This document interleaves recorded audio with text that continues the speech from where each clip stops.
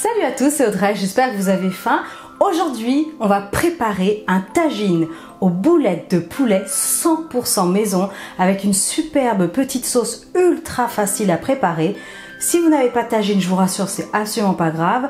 Vous pourrez utiliser une petite marmite, une cocotte, une sauteuse, une poêle, ça fonctionne. Vous allez adorer. C'est parfumé, c'est coloré, un vrai régal. Allez, vous êtes prêts?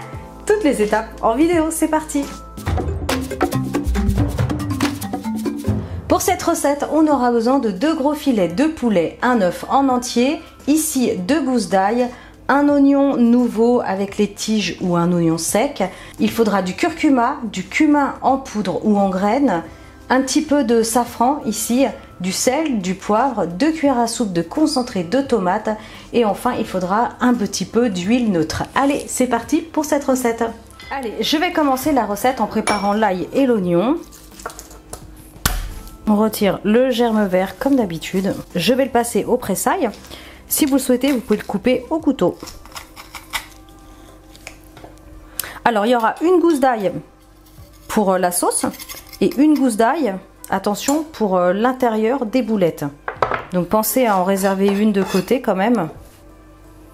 Je fais la même chose avec la deuxième. Alors, les gousses d'ail, c'est fait. Les tiges, on les conserve. Je vais jeter les parties abîmées. Ça, ça va partir dans les boulettes avec les tiges. Et ça, le reste de l'oignon, ça sera pour réaliser la sauce. Donc là, je vais venir l'émincer finement. Ça, c'est pour la sauce. Je réserve. Je vais les hacher finement. Allez, on va préparer le poulet. Je vais retirer tout simplement l'excédent de gras. Pour le poulet, c'est pas compliqué, retirez juste euh, les morceaux de gras. Là, je vais le couper grossièrement, ça va partir euh, dans le blender. Vérifiez hein, qu'il n'y ait pas de morceaux de cartilage. Passez comme ça le doigt. Ok, donc là le poulet est bien découpé. Ce que je vais faire, c'est que je vais commencer à préparer la sauce et pendant que la sauce mijote, on va pouvoir façonner les boulettes de poulet. Alors, je vais prendre un plat à tagine et vous l'aurez remarqué, je suis bien équipée. Tagine authentique. Peut-être que certains vont le reconnaître. Allez, je place une bonne cuillère à soupe d'huile neutre, de l'huile neutre, de l'huile de pépin, de raisin. Donc sur un feu moyen vif, attention parce que ça va assez vite. Je vais ajouter les oignons. Je vais ajouter la gousse d'ail. Donc la deuxième, attention, c'est pour aller avec le poulet. Hein. C'est un tagine qui est vraiment euh, très très rapide à préparer, vous allez voir. Une petite pointe de sel au départ. Je fais revenir l'ail et l'oignon comme ça pendant 20 secondes.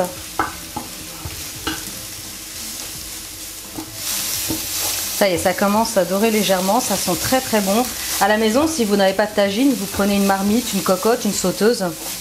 Ça fonctionne aussi.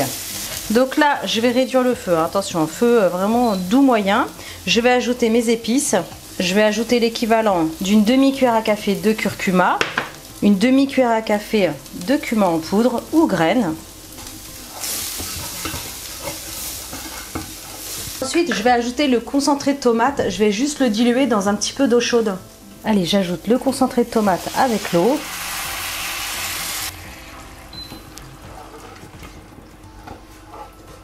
Et ça, ça va être la base de notre sauce pour les boulettes. Vous allez vous régaler. Je vais terminer en y ajoutant un petit peu de safran. Alors attention, le safran, ça coûte euh, extrêmement cher, les pistils de safran. Donc c'est une petite pincée, parce que ça parfume aussi beaucoup. Allez, je remélange. Et je vais ajouter un petit peu d'eau. On poivre.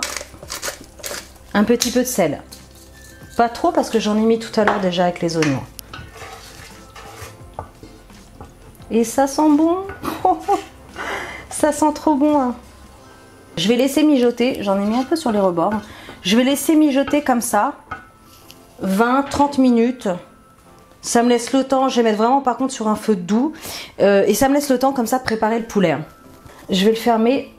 Donc euh, vous me direz en commentaire si euh, certains d'entre vous auront reconnu ce magnifique tagine. J'attends encore un petit peu avant de vous le dire. Pour info, c'est un cadeau qu'une youtubeuse m'a fait. Allez, on prépare le poulet. Hein. Allez, je vais placer le poulet dans un blender.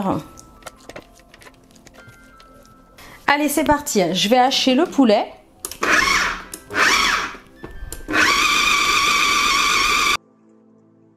Quand il est bien haché, on va pouvoir ajouter les tiges de l'oignon. On va les rajouter direct, au moins ça sera bien incorporé dedans. Je continue avec la gousse d'ail, l'équivalent d'une bonne cuillère à café de sel, du poivre, je vais ajouter l'œuf en entier, une demi-cuillère à café de cumin en poudre ou graines, encore une fois, si vous n'avez pas en poudre, et une demi-cuillère à café ici de curcuma. Allez, c'est reparti, on ferme et on blende. Ok, allez, c'est bon. Il n'y a plus qu'à façonner les boulettes maintenant. Humidifiez un petit peu vos mains. Vous pouvez les huiler aussi si vous le voulez. Et là, on va faire de jolies boulettes de cette taille-là. Hein. La taille d'un œuf, quoi, à peu près. Donc, réhumidifiez vos mains hein, si ça colle de trop. Là, vous savez ce que vous mettez dans vos boulettes. Hein. Elles vont être fameuses. Humidifiez les mains, n'hésitez pas. Ok, impeccable. Allez, maintenant, on va rajouter ça à la sauce. Allez, ça fait 20 euh, minutes là à peu près que ça mijote tranquillement. Donc on est bon. Ajoutez un petit peu d'eau si vous trouvez que ça manque. Et ce que je vais faire maintenant, c'est que je vais plonger mes petites boulettes de poulet dans cette sauce. Et ça va cuire tranquillement. Allez, 25-30 minutes.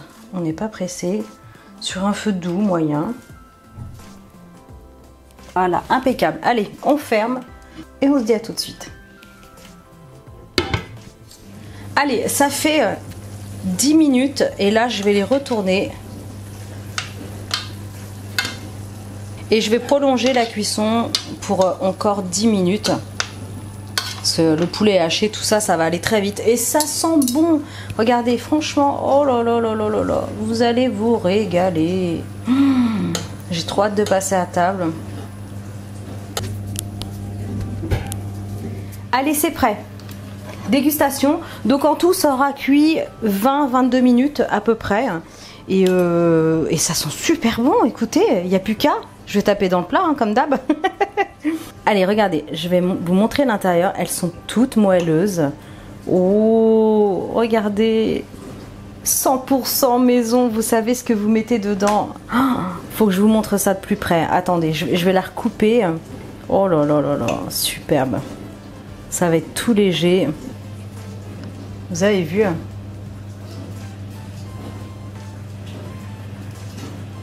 Belle bouchée, hein.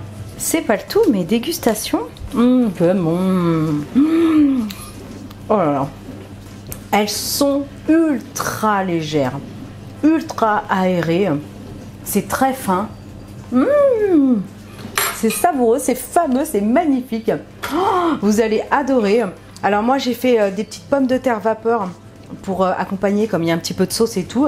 Mais euh, voilà, oh c'est super bon, c'est fameux, tout bête à faire, foncez Franchement, foncez, vous allez adorer cette recette. Je compte sur vous, je compte sur vos likes, vos partages, bien sûr, vos commentaires. Abonnez-vous à ma chaîne si c'est pas encore fait. Et moi je vous dis à très bientôt pour des recettes super méga gourmandes.